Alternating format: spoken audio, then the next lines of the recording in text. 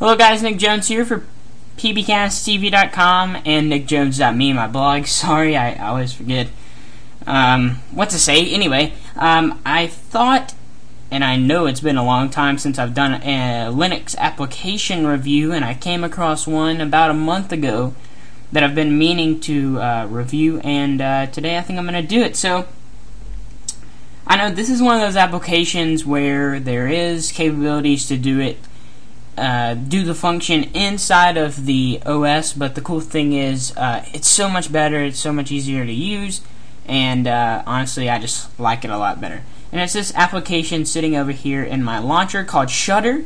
So we'll open it up. Shutter, you can download it in the Ubuntu Software Center as well as uh, their website, which I will bring up after this loads. It does have to uh, update its plugin information every time. So Here's the application. Let's minimize this for a second. And here's their website. It's shutter-project.org. That is shutter-project.org. Make sure to check it out. You can read their about page. You can download it straight from their website. And uh, if you use Flattr, uh, or you can donate, whatever you want to do. Um, it's really cool. Of course, it's free. So let's head over to Shutter. Okay. So here it is. It looks like a pretty bland application right now because there's nothing happening. Up here at the top, your oh, actually, let's go through the file menu first. You've got File, uh, Edit, View, Screenshot. That probably gives away what it does. Go, and then Help. So this is an application I use a ton. The selection tool, that's what I usually use. Uh, you can use the desktop tool. You can use the window, so you can take a screenshot of a window. Um, you can take a screenshot of your whole desktop. And then these buttons over here, you can capture uh, only a section of the window. Um, you can catch a cascade, cascading menu, which would be nice if you're still running the older version of GNOME. And then uh, you can actually take a screenshot of a website and um, you can actually just type in the URL, which is pretty cool. Alright, so let's do the screenshot selection. Now, I know a lot of applications do this, and there's actually a screenshot tool built into GNOME, which is also uh, in Ubuntu, but let's go ahead and do this. So let's just say I want to take a screenshot of their website. I like doing it manually. You can do it however you want. So we'll do selection, and then it prompts you with this. It says draw a rectangle uh, area using the mouse, take a screenshot, press the enter key, uh, press escape to quit. Um, and then you have all these other things here. Now look up here in the top left hand corner.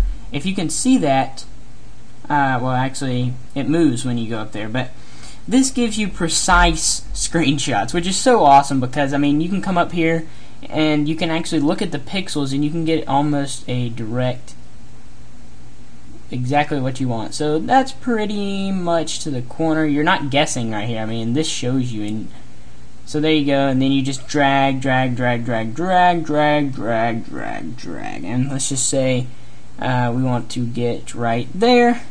So we will hit enter on our keyboard. And there you go, the screenshot is done. It shows you the screenshot here. It actually automatically saves it to a predetermined location. So I actually just get mine to save to the pictures folder in Ubuntu, but you can do whatever you like. If you want to save to the desktop, which would be nice, uh, because if most of the time if I take a screenshot, it's either going to be on like my blog or Twitter or somewhere. Also, an interesting thing is you can edit this thing, so it brings it into something that looks a lot like GIMP. Uh, it really does look like GIMP, but cool thing is you can maybe make some, you know, you can highlight things. You can use the highlight tool. So this is cool if you wanted to point out something like uh, sometimes people need help with their mixture or something, and I will highlight or I will point out something. So that's an easy way to do it. I think this is a pretty cool application. Let me get, let me know in the comments uh, what your favorite screenshot tool is. If you use one, if you just use the one in GNOME, let me know.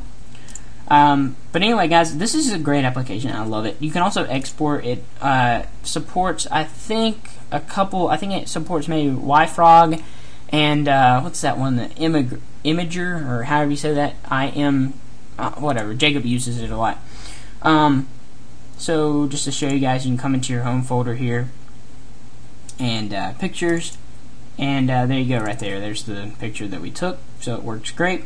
Uh, produces great, great quality shots. Sometimes if you don't have your settings right, uh, it'll come out pixelated or whatever. Anyway, Great application. Guys, make sure to follow me on Twitter, twitter.com slash that Nick Jones. That's where you're going to keep up with me, um, whatever, throughout the days when I'm not doing a uh, podcast or uh, a YouTube video. Also, make sure to follow all my blog, subscribe to the RSS, things like that, nickjones.me. Um, just redid it. I like this theme a lot. It is, uh, if you guys are wondering, it is from it's the Genesis framework, which I think is from Studio Press, maybe? Not quite sure. Anyway, it's really clean. I like it. And then finally, you can check out pbcasttv.com. That's where all of our podcasts and things are. Um, as you can see, we just covered WWDC and E3 on Gadget Gurus last night. So, guys, thanks for watching. And until next time, I'm Nick Jones. Hope to see you soon. Peace.